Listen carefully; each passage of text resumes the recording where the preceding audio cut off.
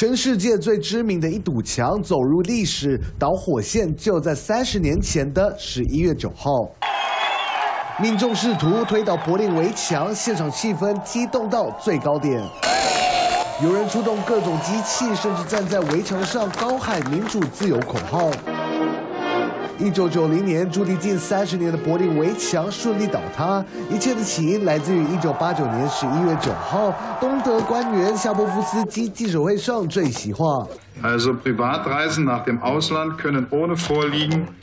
von Voraussetzungen, Reiseanlässe und Verwandtschaftsverhältnisse beantragt werden. Die Genehmigung werden kurzfristig erteilt.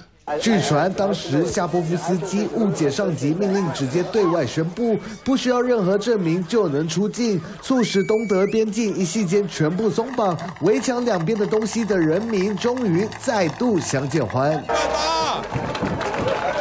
一年后，东德的共产党政府遭到瓦解，最终并入西德，让柏林围墙的倒塌成了民主世界新秩序的象征。专家认为，同样的场景有可能在三十年后重演。There was a huge increase in the number of democracies between 1970 and let's say the end of the first decade of the 21st century.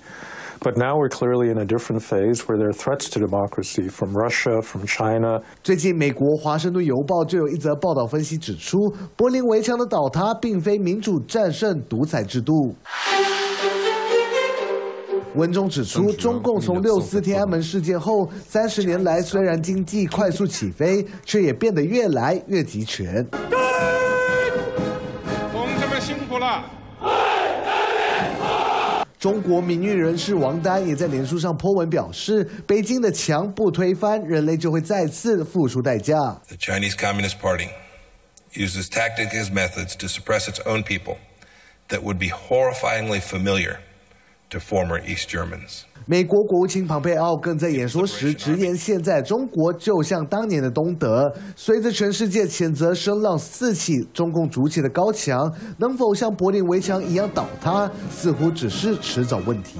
三立新闻，陈德报道。